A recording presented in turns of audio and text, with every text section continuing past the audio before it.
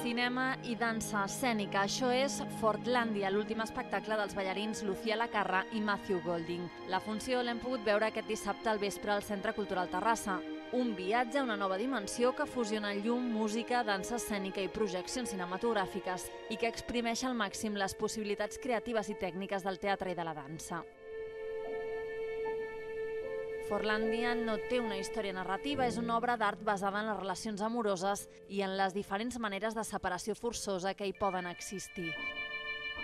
Darrere aquesta coreografia hi ha quatre noms units per un talent desbordant que han creat un espectacle de múltiples capes explicat per uns ballarins absolutament excepcionals. Nomenada com a ballarina de la dècada en la Gala de les Estrelles del Ballet Mundial a Sant Petersburg de 2011, Lucía Lacarra és de tot l'estat espanyol la ballarina amb més reconeixement a nivell internacional. Va ser musa de Roland Petit i Helgi Thomason i ha fet de protagonista ballets de Johan Neumer, John Cranko i Kenneth Macmillan.